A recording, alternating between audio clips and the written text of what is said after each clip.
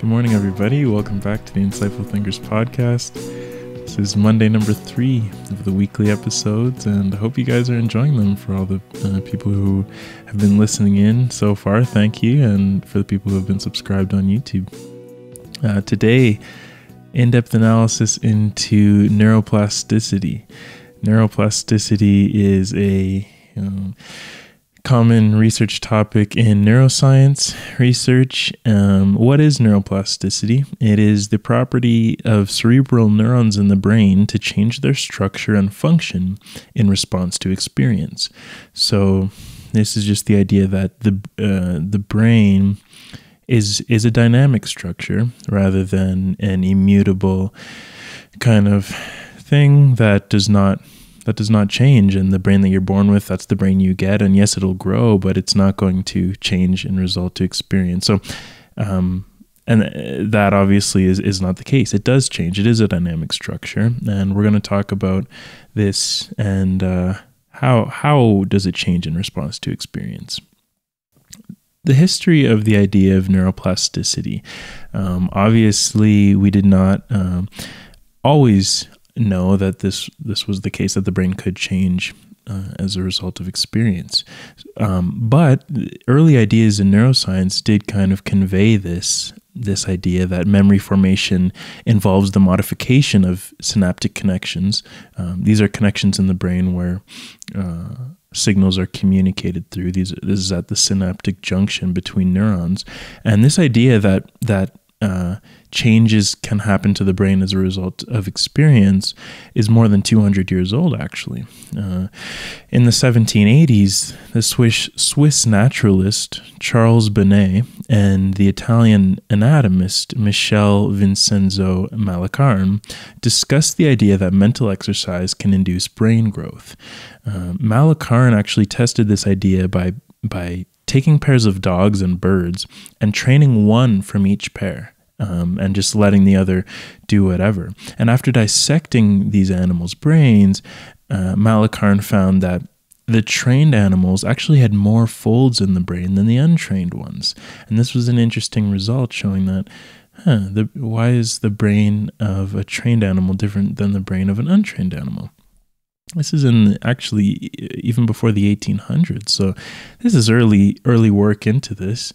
Um, and a hundred years later, uh, the philosopher Alexander Bain suggested that for every act of memory, every exercise of bodily aptitude, every habit, recollection, train of ideas, there is a specific grouping or coordination of sensation and movements by virtue of specific growths in the cell junctions.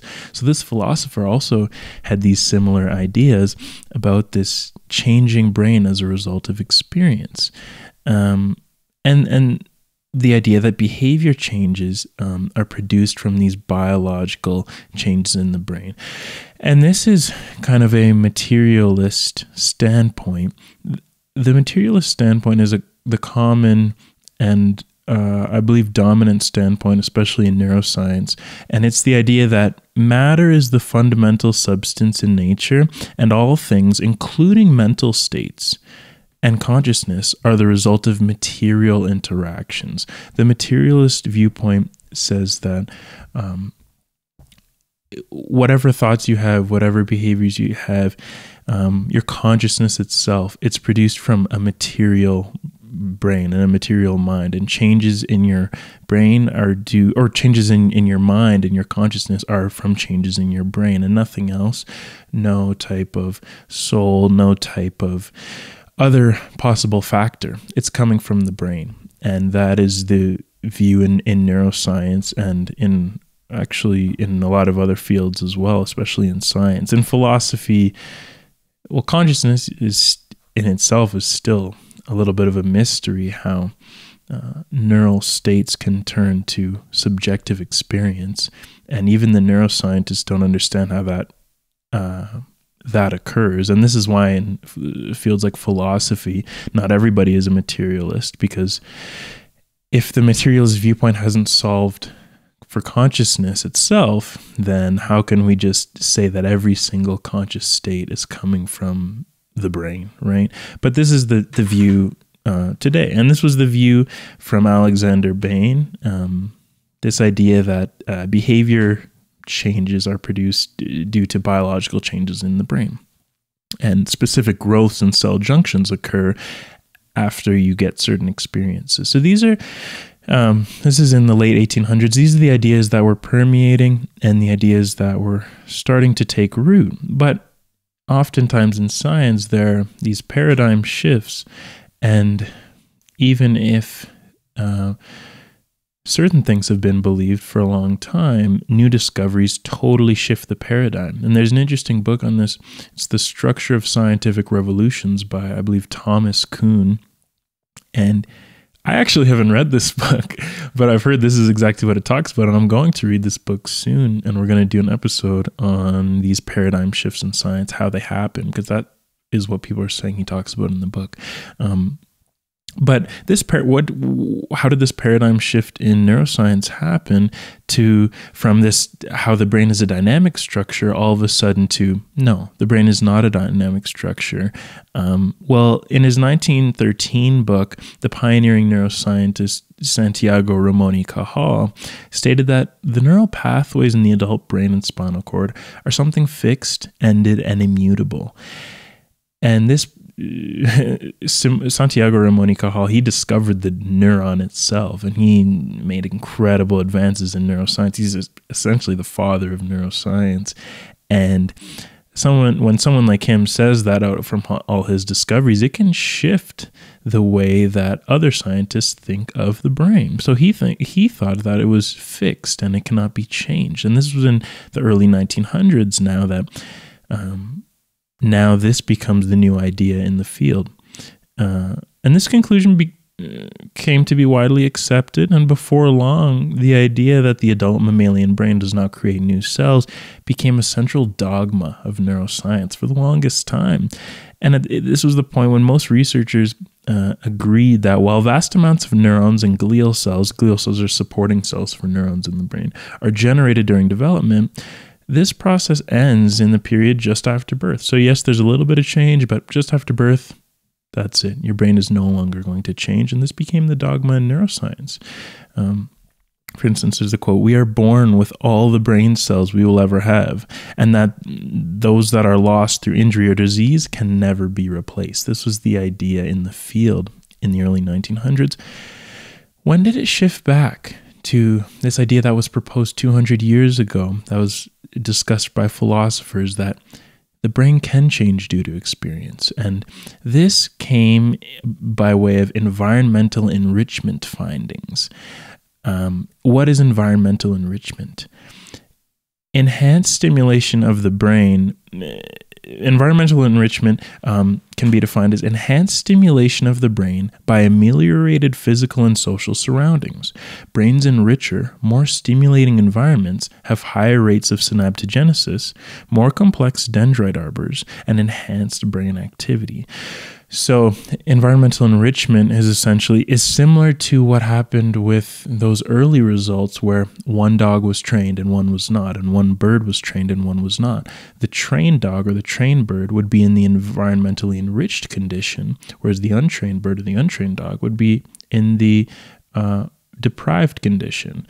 And it, these environmental enrichment findings reemerged with Donald Hebb. He's a, the pioneering um, uh, Canadian psychologist, actually. And what he noticed was that he well, he actually did a funny experiment, an informal one, actually, but Hebb noticed that the rats he took home as pets for his children outperformed the other rats on problem solving tasks when they were returned back to the lab several weeks later. And this seemed to show that early experience can have a dramatic and permanent effect on brain development and function. These were this, this was the reemergence of these neuroplasticity findings. And Hebb reported these findings actually in his 1949 book, The Organization of Behavior, where he concluded that the richer the experience of the pet group, the better they were able to profit by new experience at maturity. One of the characteristics of the intelligent human being. So he Hebb here he he likens this enhanced adaptability of the mind in enriched rats to to the intelligent human being. When you get more stimulation and uh, more learning and more training and more experience with um, other rats and you're put in more social situations like the rats that he took home you in in a way almost your intelligence increases he's kind of saying. So it seems that this increased these increased problem solving skills um, are acquired if you have an adequately stimulating environment as opposed to um, an inadequately stimulating environment. Following these results was rosenzweig and a team of researchers in 1962, and they followed with some more formal experiments and had conducted his own formal experiments. But Rosenzweig and, and researchers in 62 um, made some great findings on enrichment as well. What they did was they allowed some rats to live in larger housing than the standard laboratory housing and allowed these enriched rats to experience social interaction and interact with a variety of objects. So they created this uh, enrichment paradigm with more objects and more social stimulation and larger housing and gave some rats an enriched environment. And what they found was that kind of similar to what Hebb found. Rats that experienced this environmental enrichment had heavier brains than regularly housed rats, suggesting that the enriched experience had in fact caused neuro- neuroanatomical changes. So these were some formal studies that really uh, perpetuated this new idea in, in neuroscience that the brain can change due to experience. And if you give organisms enhanced stimulation or the, the correct level of stimulation, then their brain will change for the better.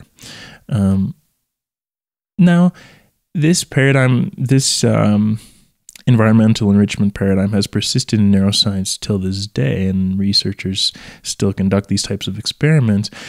But one thing in science you'll find is that there's always going to be critique of no matter what paradigm you're using, even if it's the central dogma in the field. People are always trying to challenge this and uh, no matter what discovery is made, Einstein's findings were not without uh, critique and people trying to break it down and find different things. But it's all about uh, um, experiments getting replicated. It's not about one landmark study. When when one landmark study does come out, what actually happens is that there are a lot of other studies that go against this study, and seem to support other hypotheses, and then uh, people contradict, and there are detractors to this landmark study. But what happens is that people also try to replicate the landmark study, and then they find similar results, and then people try to replicate the experiments of the detractors, and they can't find what the detractors found. And this is how. Um, paradigms get strengthened in science and theories i should say get strengthened in science um, but all this to say that in science, there's always going to be critique, even of um, well established research paradigms, including environmental enrichment paradigms. So, the issue proposed by detractors these days is that is can laboratory enriched settings in any way actually be considered a, a, truly enriched naturalistic environment because even the studies of Rosenzweig and colleagues and things like this the rat in the end is still living in a cage or in a box. So I mean, is the yeah you can put social factors yeah you can give them a larger area and yeah you can do this and that but is that really an enriched environment in the end compared to where they actually live in the wild um, surely the rats that live in a fully naturalistic environment in the wild um, will will experience the greatest uh, most salubrious effects in their in their brain compared to even the so-called enriched environments that researchers put them put them through. So, while attempting to address this issue, a Berkeley group of researchers found that uh, laboratory rats living in a semi naturalistic outdoor setting for one month had greater cortical development than their littermates reared in these so called enriched laboratory cages. The semi naturalistic setting um, is essentially the naturalistic setting, but they, they uh, as far as I know with this study, they tag um, kind of these, these, um, these rats and then they bring them back. So they put some rats in a truly enriched setting in the in the wild in a semi-naturalistic setting and they compare those to these enriched uh, rats and they find that even enriched rats aren't actually so enriched. Um, maybe the maximal brain development happens in the wild in the first place. Um, and this kind of suggests that uh, as i mentioned even enriched environments may still be relatively impoverished with respect to wildlife conditions, and that plasticity in response to stimulation does not reach saturation in a typical environmental enrichment setting. So, yes, there are benefits to living in this enriched environment, but you don't see the maximal benefits to brain plasticity because they're not actually in a fully enriched naturalistic environment. So, this is just the beauty of research, you guys. There's a caveat to every result, and you're really forced to examine even the most effective paradigms from every single angle. And you have to be able to point out flaws, even of your own research, in an incredibly unbiased fashion. And as soon as you exhibit, uh, experimenter bias and things like this, which are hard to um, avoid. But as soon as you uh, bring your biases in, you are you, can't be a credible scientist. So you have to really try to leave your your biases and preconceptions about uh, the way the study will go aside. Um, Another approach to neuroplasticity studies, we've discussed this environmental enrichment paradigm, but another approach is sensory deprivation experiments. So these are almost the opposite of uh, neuroplasticity studies because this is where you deprive an animal and then you see the changes that happen there. Um, that's another interesting thing about research, actually, is that um, the same exact thing can be studied in so many different ways. And this is another way that neuroplasticity has been studied. Um, Hubel and Wiesel. I've mentioned these guys in a few episodes, and when you're when you are uh, landmark researchers, you are going to be mentioned in a lot of different areas because that's what good research is. Good research can apply to a lot of different fields and areas, and uh, David Hubel and Torsten Wiesel did these monocular deprivation studies. So, what is this? So, this is where they covered one eye of a cat in the early critical period and left one eye open. And then they checked what happened in the brain afterwards. So, what they found was that after occluding one eye of a kitten during the critical period of development, critical period is this window of time when an organism must learn an ability if it's going to learn it at all. So if it doesn't learn an ability in this critical period, it will never learn the ability. Um, so what they found was that after occluding one eye of a kitten during this critical period, there was a reduction in the number of cortical neurons responding to that eye in the brain.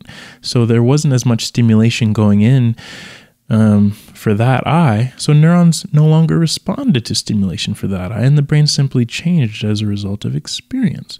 Inputs from the left and right eyes, what they do is they converge in the primary visual cortex, and they actually compete for space there. So both your eyes, with the inputs that go, they go to the back of the brain in the in the visual cortex, and you need stimulate equal stimulation from both eyes to create an equally mapped out.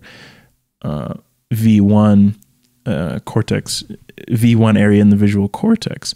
So, what happened was that the areas in the brain that would normally receive inputs from the closed eye failed to develop, whereas those receiving inputs from the open eye grew to be far larger than they should. There was a skew of um, how much the brain responded to one eye rather than the other. So, in some, you guys, these these were just some of the landmark experiments to show that the brain can change as a result of experience. And this was a fact that always amazed me when I um, started learning uh, about neuroscience and things like this because I initially just didn't understand that the brain could really change as a result of experience. Um, but as soon as I learned about uh, cases of, uh, for instance, Phineas Gage, where he was working on a railway and a pipe actually got shot through his prefrontal cortex and he became a totally different person. And these are just uh, things to show that when things happen to the brain or experiences happen, your mind changes. So these were, were always kind of interesting to me. And we are now doing an episode on uh, neuroplasticity because the, the brain is not a, an immutable structure. And if with the with the right stimulation and the right learning, you can become a totally different person if you uh, if you allow yourself to be put in different situations. And we're going to talk about how when you acquire different skills, and for instance, um, there's like golfing or navigation, then your brain actually becomes better at those things. And you become, if you play sports, then you become more coordinated. And there are caveats to those studies as well. And we'll discuss all of this in a second. But um, just the idea that uh, your brain is, it's not, the brain you're born with is, is not the brain that you, you end with. You, um, your experiences modulate the neurons uh, in your brain. What is the real world application of these environmental enrichment studies, though, that we discussed um, right before discussing the Hubel and Wiesel studies? Well, um, there's there's a real world application for poverty and and low socioeconomic status. So, what is socioeconomic status? It's the economic, occupational, and educational factors which influence a family's position in society. Um, so, when you're of low socioeconomic status, you have a relative deficiency of income, education, goods, and other social factors. And how can this change the brain? How can a negative life experience change your brain for the worse? Well, socioeconomic status has been found to be associated with variations in the makeup and function of certain brain structures. More specifically, children from poorer backgrounds have smaller gray matter volumes uh, in the hippocampus, brain area implicated in memory, and they exhibit differences in amygdala and prefrontal cortex activity in comparison to those who are better off. The amygdala is implicated in a lot of your emotions and, and fear and anger and, and things like this, and the prefrontal cortex is involved in planning. Um, and kind of higher order thinking and logical thought. And if you're growing up in a poorer background, it's shown that you have deficits in these brain areas. So just uh, growing up in a worse environment can totally even change the decisions you make and can put you into uh, worse positions later in life. And this is what people have to realize. Um, so, the, just like these studies are kind of um, kind of groundbreaking. There are also caveats though, and and even though yes, there are results that low socioeconomic status can affect your brain, we have to realize that socioeconomics these are first of all only correlational studies, and socioeconomic status is such a complex term. So these brain scanning studies that find lower gray matter volumes in in individuals of low socioeconomic status, they reveal only associations rather than causal relationships uh, between poverty and brain structure and function. Socioeconomic status is it's a complex notion that usually incorporates an individual's level of education, income, occupation, stress levels, and nutrition, all of which have a dramatic effect on brain development. When there are so many factors, it's hard to pinpoint, oh, poverty, uh, you get bad brain development. It's not as simple as that because it might you might just have had bad nutrition and that's why your brain wasn't able to develop. It wasn't just because you grew up in this uh, bad neighborhood. So there are so many factors that go into this, and um, more research is going to be required to fully determine the effects of socioeconomic status on brain development. Um, so just yeah the idea that it's impossible to determine exactly which components might be influencing brain development so always remember when you and this can go for anything that you read but when you read research studies or when you read one piece of information you always have to take it with a grain of salt because there's always going to be some conflicting, uh, whether it's a study or some kind of conflicting information to go against what you are reading. So you just have to uh, remain logical, remain unbiased with what you're taking in, and try to take uh, take whatever truths or results that you find um, with some kind of uh, for with some kind of extra thought and with a grain of salt. And this is how it works in research. Um, what are some other factors that change the brain? We've discussed socioeconomic status. We've discussed environmental enrichment. We've discussed how the brain can negatively be affected due to sensory deprivation. Um, but let's discuss some other things. So, physical activity and other learning tasks seem to enhance proliferation of neural stem cells and in some cases even promote the survival of newborn neurons whereas stress certain types of inflammation and sensory deprivation have the opposite effect as we mentioned so when rats for instance learn complex motor skills um, and they really take this this uh, great stimulation into their brain, uh, structural changes actually occur in the motor region of the cerebral cortex and in the cerebellum. And the cerebellum is a structure that coordinates motor activity. So, learning, again, seems to create a new pattern of organization in the brain. Experts also who have mastered specific skills and abilities have shown to have similar alterations in the associated brain region with whatever they're learning. So, such effects uh, as these have been observed in musicians, typists, taxi drivers, dancers, divers, handball players, golfers, endurance athletes, and martial artists. So it seems that when you put yourself through rigorous training, whatever field it may be, your brain becomes more adept at processing whatever you you have been learning and if you are an experienced martial artist then maybe regions in the cerebellum are are more greatly developed that coordinates motor activity and you just become a more coordinated person. And you might already be thinking though of the caveats like we've been talking about though. And there are caveats obviously to these things as well. Um, these studies are purely correlational right? Um, we cannot reject the possibility that differences observed in brain structures were pre existing conditions that enabled individuals to pursue these activities better in the first place. So, just like how I just mentioned, for, let's go with the example of the martial artist who you find, oh, wow, the martial artist has, has greater. Um, greater development in the cerebellum and their motor activity must be increased compared to controls and compared to normal people because they must have the martial arts they must have been doing has changed their brain right over time. But no wait a minute. Maybe that martial artist already had uh, enhanced uh, development in this brain area and they were just born with differences there that made them more likely to even become a martial artist and become good at it so that they could even be a member of this study later into the future. So, so, maybe they were already born with this difference, and people who weren't born with these differences no longer were martial artists, and they obviously could not be in this study in the first place.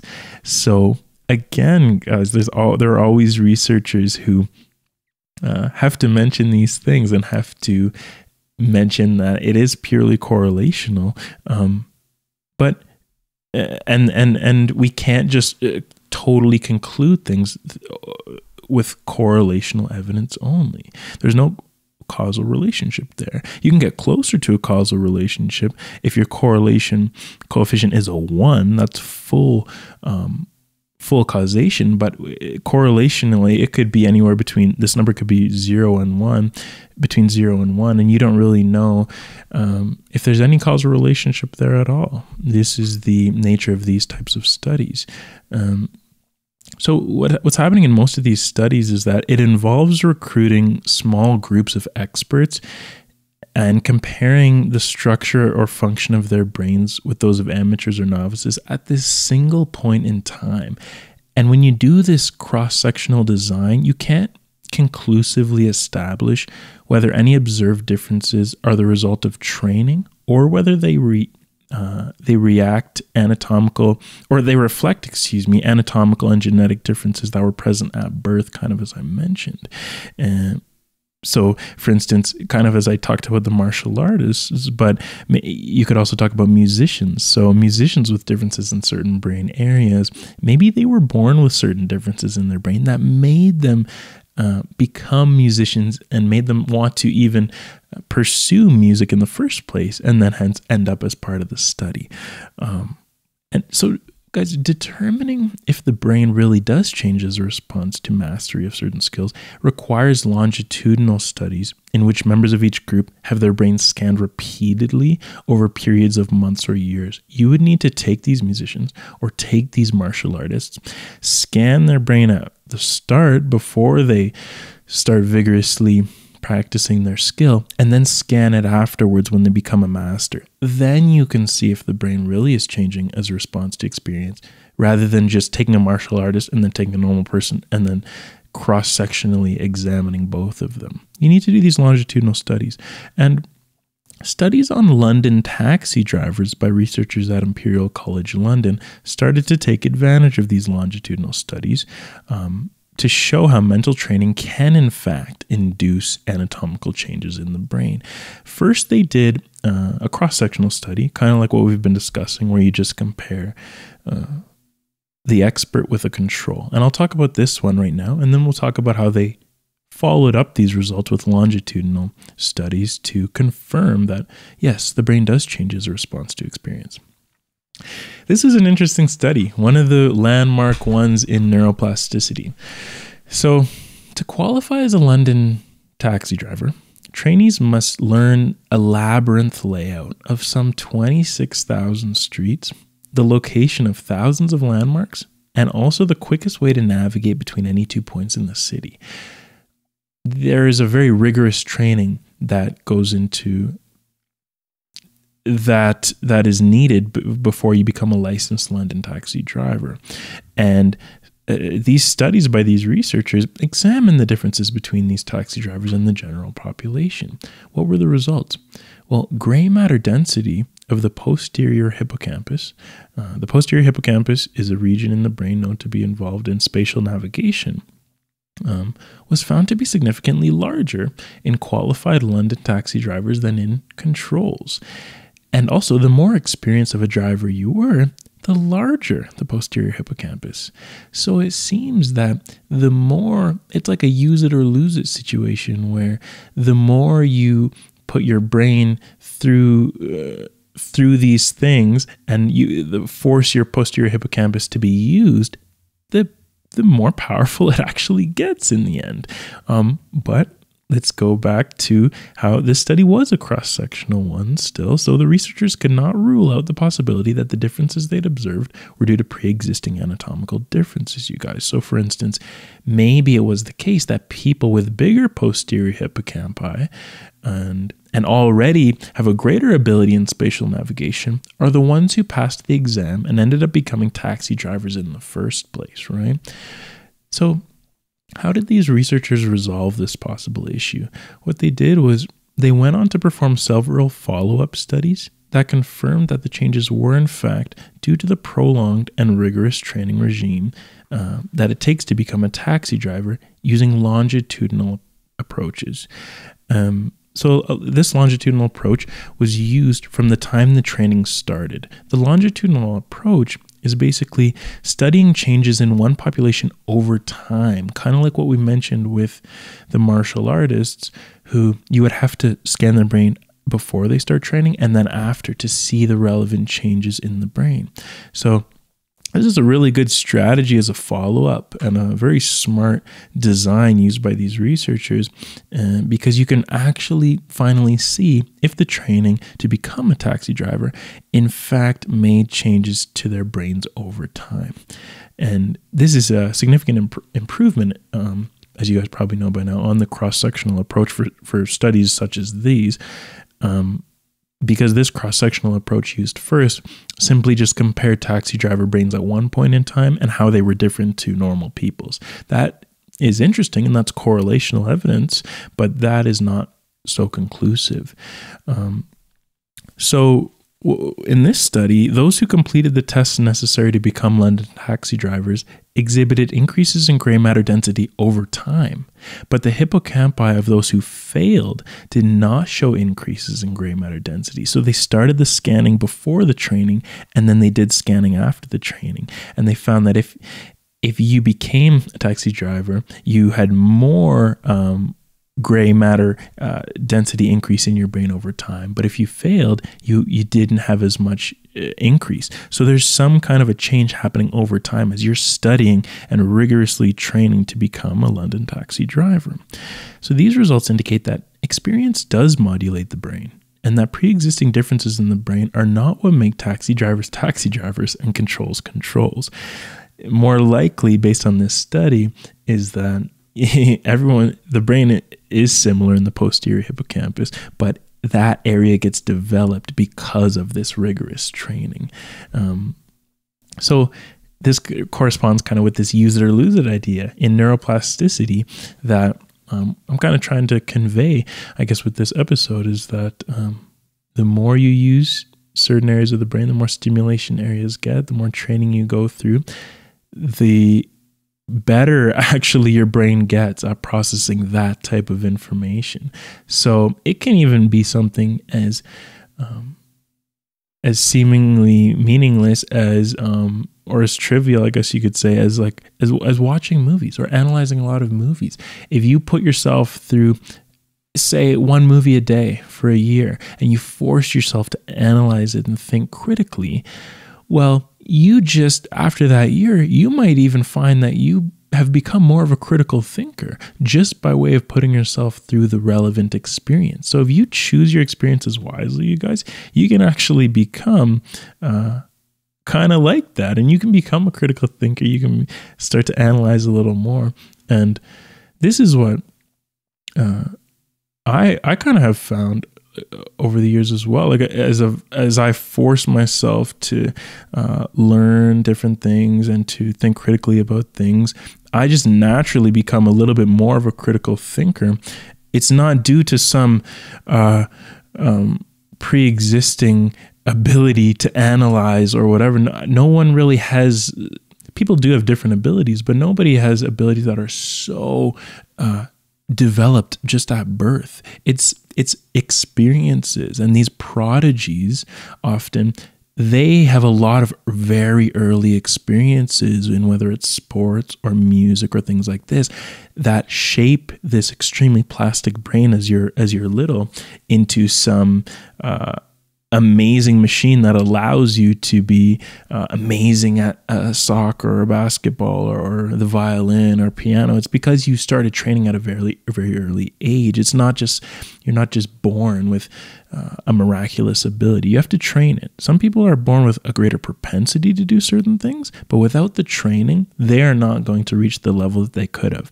And it's because the training is what's changing your brain. Um, so kind of an application, I guess, to regular life, you guys. If you if you want to um, be something, sometimes you have to do it first, and then you will become become that thing you were looking to be. If you want to become the uh, uh, a very ambitious person or someone that doesn't give up, well, sometimes you have to put your mind through that. Say, if you want to run every day, and you have to put your mind through that running every day first before it becomes habitual and before your mind gets harder and before your mind, uh, as David Goggins actually says, becomes more calloused. It doesn't just come out of thin air. You have to do sometimes do things to change your brain in the first place. Um, and I could go on and on with examples about you could do the same with reading and analyzing. Um, but let's let's conclude this episode soon. We're reaching that 45 minute mark we've been hitting recently. So uh, we'll talk about neuroplasticity in blind people just as a final uh, topic of, of neuroplasticity research. So the visual cortex of of early blind but not sighted subjects actually is activated during tasks of auditory localization. So, verbal memory or braille reading in parallel with better performance with respects to sighted subjects. This is a big jumble of words, all to say that usually the visual cortex responds to visual input. Right now, I'm looking directly into the camera, and my visual cortex if you if you were to put me in an fMRI machine, it would be lighting up right now because it's showing that uh, there's a lot of blood flowing to this area, and I'm using the visual cortex. In blind people, because they don't have the visual input to the visual cortex, auditory So when I hear myself speak, that actually lights up the visual cortex because the, the plasticity of the brain and your brain actually ends up using the visual cortex to respond to auditory stimuli, you guys. Um, how do we know that the visual cortex uh, is what it, what is implicated in um, like braille reading or auditory localization in blind people? Well, if visual cortex activity is disturbed by TMS, transcranial magnetic stimulation, we talked about this in, uh, oh my gosh, in Ex Machina. Um, yeah, we talked about this in Ex Machina analysis. So if the visual cortex activity is disturbed by transcranial magnetic stimulation, this is a way of stimulating the brain that can disturb visual areas, then performance deteriorates in blind but not sighted subjects in auditory tasks. So, this shows that visual cortex activity is necessary for auditory localization in blind people. When you block off the ability to use this area of the brain, blind people have have trouble with with hearing because that just shows that their their visual cortex is being used to hear things. But when you block off the visual cortex in sighted people, they can hear just fine. And these are very interesting studies to, to show this idea that blind people actually use the visual cortex to process sound. This this plastic change in the brain, and your brain is adapting to now. Uh, to use the visual cortex for some purpose because it's not being used for vision. So humans rely on these plastic changes in synaptic connectivity within and between cortical areas. The brain is incredibly plastic and it's resilient, especially early in life as well. Your brain can reroute these um, signals like it does in blind people from using uh, the temporal lobes for hearing, but now uh, using the visual cortex for hearing. And it can reroute a lot of inputs, and your brain is very plastic and adaptable. It's a dynamic structure, you guys. It can change as a result of experience. And studies on recovery from brain damage show this, but especially in children, because when you age, your, your brain seems to actually go through changes in its ability to be plastic. And what you find is that when older individuals um, unfortunately have a stroke or have a terrible brain injury, they can't recover quite as well. Whereas if it's a younger person who even has a more severe injury, they can actually become almost just fine with almost no impairment. So the plasticity actually changes as you get older.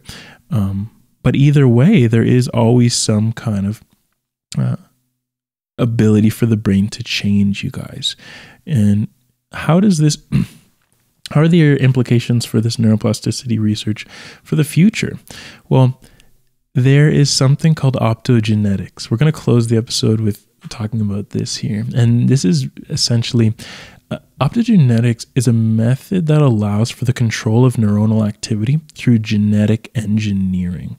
Uh, again, might be uh, a little bit of a jumble of words there. So it allows for the control of neuronal activity. So it allows for the control of uh, activity in neurons. Neurons are what the brain uses to communicate and to send signals, and it uses genetic engineering. Genetic engineering is a process where scientists uh, change the information in the genetic code of a living organism. So they're literally going into an organism and changing the inherent code that makes that organism. So in optogenetic studies, Scientists add a piece of genetic code to neurons that allows for neurons to respond to light. And um, they add this piece of genetic code um, called these opsins. Opsins were first discovered in algae. Algae uses opsins to help them move towards light. So algae have this have these things called opsins that allow them to respond to light. So when we put the genes for these opsins into neurons, it creates almost this hybrid effect so when we in- introduce these light responsive genes to these neurons, now neurons become sensitive to light all of a sudden. Whereas obviously neur- neurons are not sensitive um, to to direct light manipulation right now. But when you add these genes from uh, like the algae, then it allows neurons to respond to light at the flick of a switch. So researchers uh, can switch cells on and off. Um, using using light, using changes in light. So essentially researchers basically what they're doing is they label the neurons that are active during memory formation and they can reactivate them with pulses of light so reactivation of the neurons that first responded when mice experienced fear leads to the retrieval of these fearful memories so if neurons if a, a, rat or a mouse experiences a fearful situation, a certain area in the brain will light up, perhaps in the hippocampus, that allows for memory of that fearful situation so the rat won't go into that situation again. So they track which neurons lit up when the rat experienced fear or when the mouse experienced fear. And then what they can do is they can put the mouse in a totally different environment and they can flip on, excuse me, these same neurons and the rat will experience fear all of a sudden just because it manip- uh, the researcher turned on the light switch or it's not it's not like a light switch it's actually something that goes right into the brain. But essentially you can control the behavior of organisms through optogenetics. So what scientists essentially have created is memory manipulation.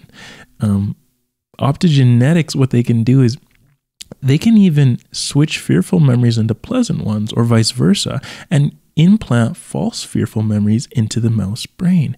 So, for instance, researchers could activate the mouse amygdala, which is an area that is active during fear, in harmless situations, or they can activate pleasure circuits in what should be a fearful situation.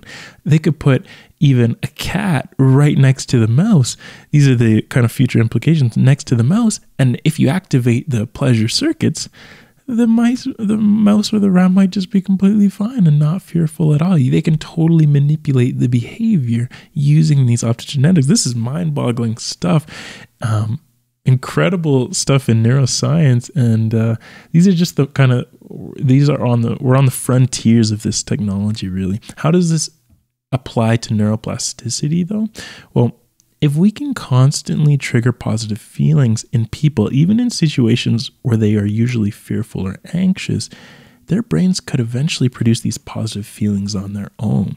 Kind of like uh, what these experiments have shown, where if you put your brain through certain experiences over and over, like the martial artist or the musician or the taxi driver, these areas in your brain can get strengthened in response to that type of experience. So if you can stimulate these uh, uh, circuits for positivity and things like this, then eventually that brain area inherently becomes stronger and then it no longer requires experimental manipulation for you to just automatically feel those feelings. Just like martial artists after so much training they can do all sorts of different um, sequences and they just know exactly what to do without even thinking twice. Whereas at first their brain is not trained to be able to do that yet. So they have to really think about, oh, what move do I do now? What guard do I put up now? And things like this. If you put your brain through a certain experience over and over, and in the case of optogenetics, if you stimulate this these positive uh, circuits over and over, then eventually, naturally, that will just come for individuals who are initially uh, depressed or anxious. And these are just this future research for optogenetics. It's a burgeoning field in neuroscience, and uh, there are going to be a lot of breakthroughs here. And maybe we'll pick back up on some of them way down the road, decade down the road. Maybe we'll do a uh, do an optogenetics episode or or a review of what uh, researchers have been able to do with optogenetics. You guys that's the episode. Neuroplasticity. I hope i did it some justice for any uh, actual neuroscientist who ever watches this too even someone who doesn't uh, hardly even knows what a neuron is. I hope either way it did the topic some type of justice and it was able to be understood by whoever was watching. Um, thank you guys for listening in uh, monday number three of weekly episodes and it's feeling great to get going, get going early, get something set up, and uh, it just uh, I'm liking the way it starts off my week for sure. I hope it is um, adding something to your week as well, you guys, for whoever's listening and watching. If you like this episode, as always, please share it with at least one person. If you know someone who uh, likes neuroscience stuff or just like science stuff, please share it with them. Just one person is plenty, you guys. Um, you can also subscribe to the podcast on whatever platform you're listening on. So whether it's Spotify, Apple Podcasts, YouTube, anywhere else you listen to podcasts, Apple Podcasts allows you to leave a rating and a review, and YouTube allows you to like the video and dislike it if uh, if you are one of those neuroscientists who found that uh, I did not do the topic justice. And and along with the dislike, also comment and and let me know. Um, different things that I, I, may have gotten wrong or that could have added to this episode and this um, analysis into uh, how neuroplasticity works. And to do this, you can you can share um, using the Connect page, and you can use the YouTube comments section as well. And if you are on the website, you can check out the blog posts on there, some poems, some articles, and uh, feel free to, to check that out whenever you'd like, guys. If you want to join the monthly ITP video conference call, you can also support the podcast on Patreon. But in the end, you guys, whatever you do to support, whether it's listening or watching, that's always good enough, even if you don't do any of those things. Thank you for tuning in to the Insightful Thinkers podcast, everybody. And we'll be back next Monday morning for more in depth analysis into a diverse set of topics. Take care, everybody.